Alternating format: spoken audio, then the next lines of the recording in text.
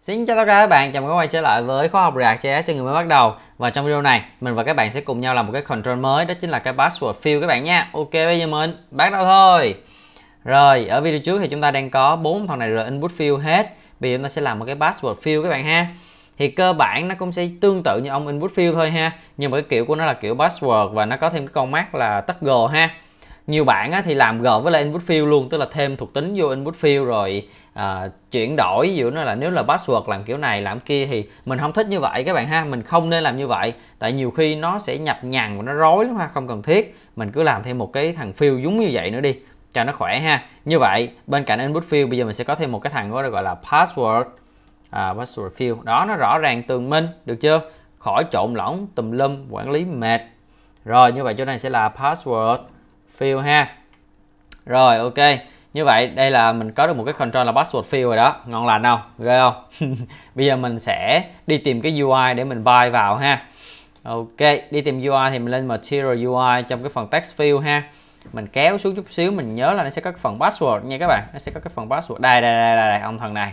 Bây giờ mình sẽ xài cái loại này ha. Mình xài cái loại này nè. Đấy xài cái loại này. Được chưa?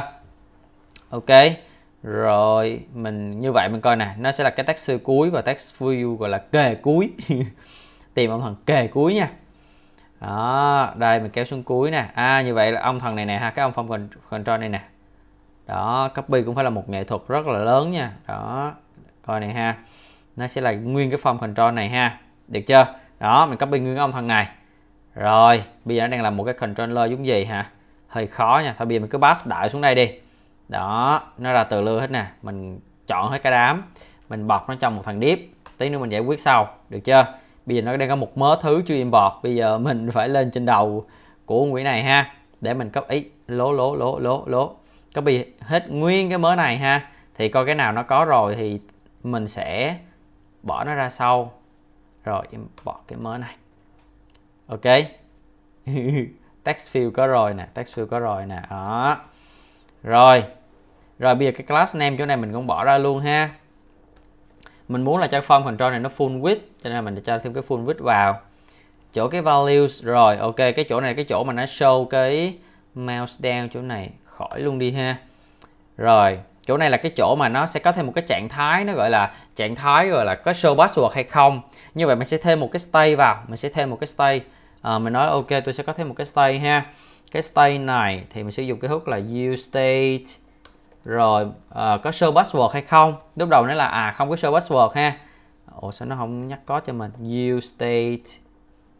Rồi auto import ha. Rồi show password. Và một cái là set show password. Ok ha.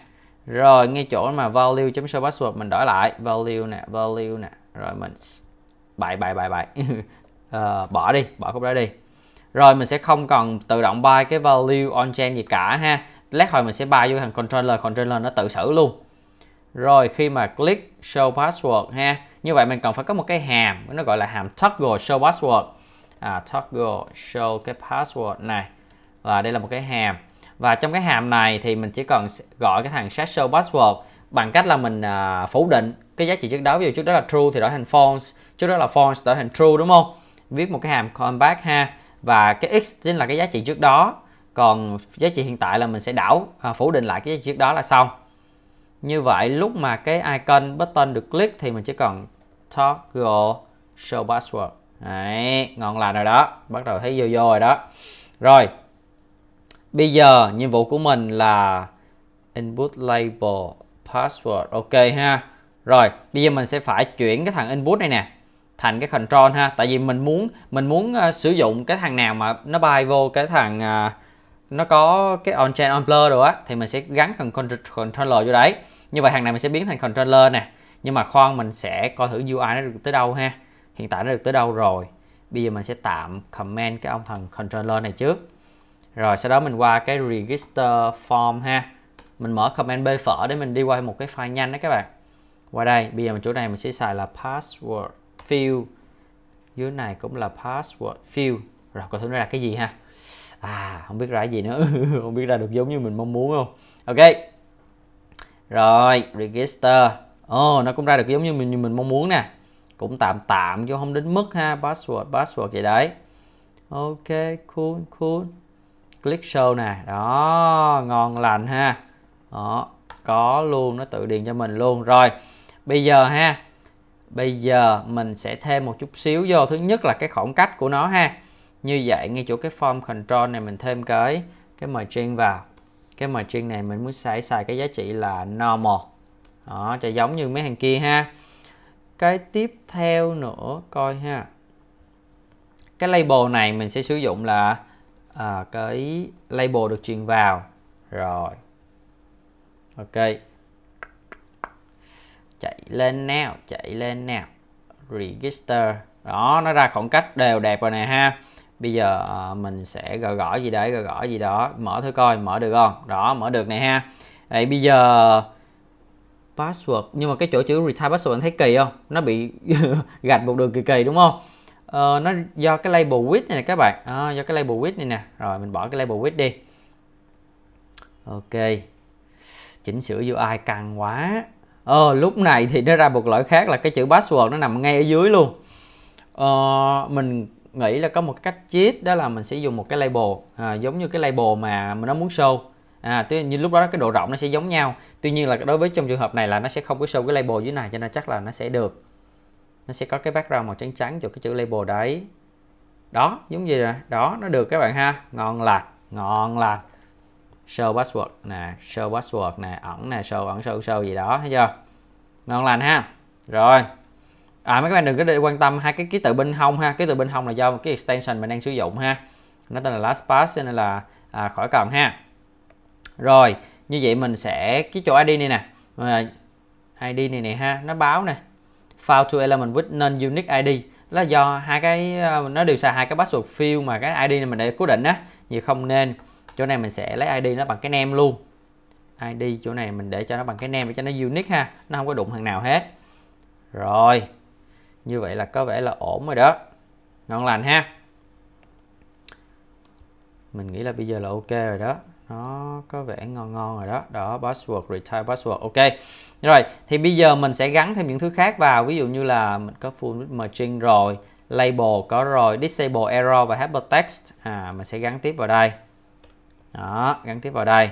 Rồi, còn gì nữa không? Ok ha, như vậy bây giờ mình sẽ thay thế cái thằng outline input này thành controller nha. Thay thế này thành bằng controller nè. Sau đó là mình sẽ lấy ba cái giá trị, đó là name, control và as. Ba thằng name, control và as. Lúc này sẽ là cái thằng, đúng rồi, outline input. Đó, ok chưa? Các bạn thấy thấy cách làm không? Thì lúc này nó sẽ tự động buy vô cái thằng à, uh, outline boost này những cái on change on blur value gì đó nó tự buy vô hết ha. Mình sẽ khỏi cần phải làm. Thử nè. Uh, gõ, gõ, gì, gì đấy. Rồi. Gõ gõ gì đấy gõ gõ gì đấy. Show lên cho vui nè. Gõ gõ gì đấy create account. Nó không vô. Rồi ok ha. Lúc này qua cái form. Ok cái tag này mình sẽ thêm cái tag cho nên cái button là submit ok. Rồi khi lên trên này lên trên này thì nó sẽ gọi thằng on submit ở thằng cha. Ok luôn. Rồi Ý, cái gì vậy? Not now ok. Rồi sau đó là mình sẽ đang có cái thằng register component register nè. Trên này nó có form submit. Rồi thử lại coi.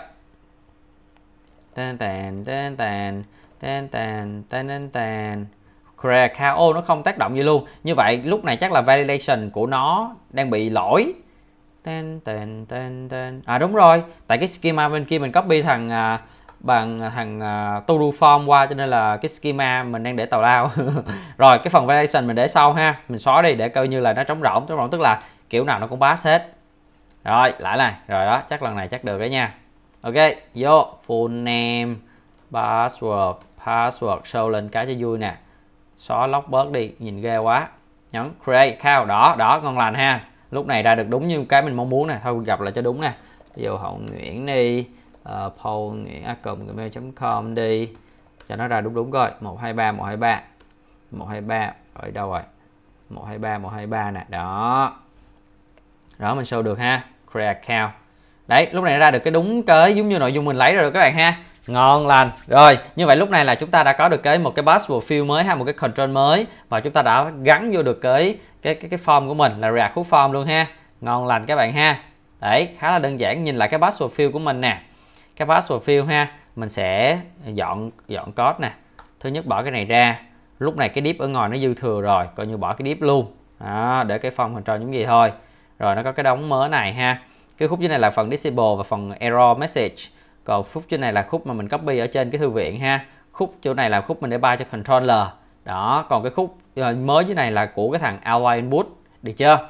Ok, sau đó trên này nó có một mớ, nó không xứ không sử dụng nè. Mình dùng option shift o ha. Đó, rồi, nó tự bỏ đi những thứ mà không xài, tự sắp xếp lại, ngon lành ok rồi mình đã có một cái mớ pass ờ, một có field một cái control mới password field các bạn thấy không? Mình không cần phải sửa cái thằng input field bạn mà sửa cái thằng input field lúc đó bạn phải check cái type là text hay là type là password. Show khác nhau, lúc đó nhìn cái input field của bạn nhìn rối như một cái rừng, nhìn rất là kinh ha. Cho nên là không nên nha các bạn.